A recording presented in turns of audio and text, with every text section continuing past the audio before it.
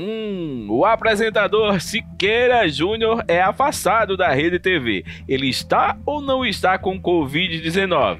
Está internado no hospital. Jornalistas dizem que sim. A família diz que não. E agora?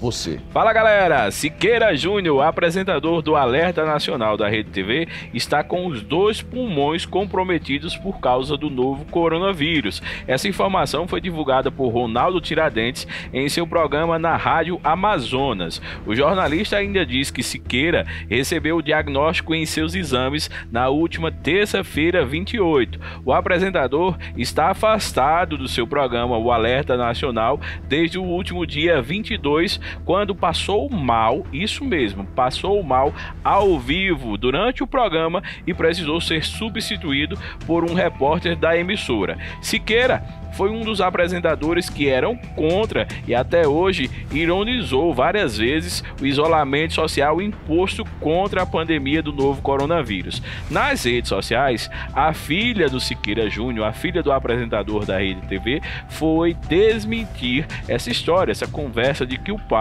estaria com Covid-19. Então, como assim? Siqueira Júnior passou mal no ar, foi internado com problemas pulmonares. Por quê? Ela não explicou direito essa situação, mas vários foram os sites nacionais e também lá do Amazonas de Manaus que confirmaram o apresentador está sim internado com fortes problemas pulmonares e o risco existe sim. A gente fica torcendo, claro, para o apresentador melhorar, sair dessa situação que seja menos dor impossível. A gente fica torcendo aqui. E você, o que achou? Curte, comenta, compartilha, blog social.